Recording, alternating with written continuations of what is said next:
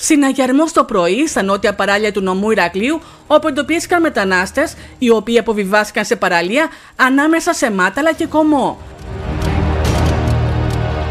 Στη θέα των μεταναστών στα Πιτσίδια, δημότες ενημέρωσαν τις αρχές οι οποίες έστησαν επιχείρηση για τον εντοπισμό τους, όπως και έρευνες στη θαλάσσια περιοχή των Ματάλων, όπου λίγο μετά τις 10 το πρωί, άνδρες του λιμενικού σταθμού Πύργου εντόπισαν το ξύλινο σκάφος, το οποίο εγκατέλειψαν οι μετανάστες μετά την αποβίβασή τους. Οι μετανάστες βρεθήκαν κοντά στα Μάταλα, μεταξύ Ματάλων και Πιτσιδίων και τους έφερε εδώ πέρα η αστυνομία με, σε συνεργασία με το Διμεναρσίο και εμείς σαν οργανισμός δημένος που τους φιλοξενούμε εδώ κληθήκαμε να παράσχουμε κάθε βοήθεια που θα χρειαστεί όπως νερό, τρόφιμα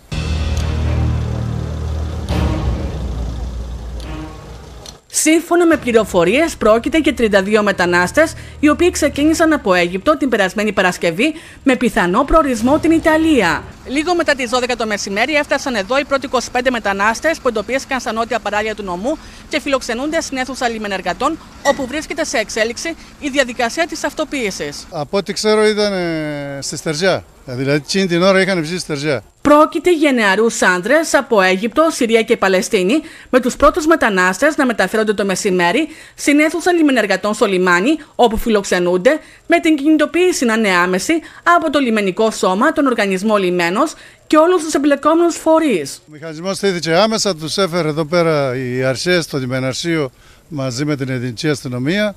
Ο οργανισμός που κλήθηκε παρευρεθήκαμε μέσα, τους φέραμε χημικές τουαλέτες, νερά, σε λίγο θα έρθει φαγητό, θα φέρουμε ό,τι μας πει η Λιμενική Αρχή αυτό θα κάνουμε.